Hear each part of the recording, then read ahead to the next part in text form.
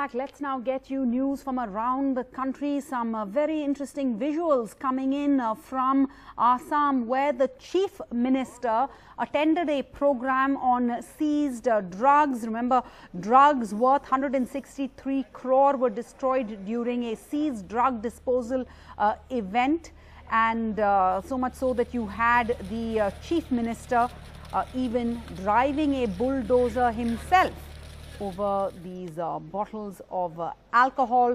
The Assam government has claimed, uh, has launched a full crackdown on a zero tolerance policy on drugs.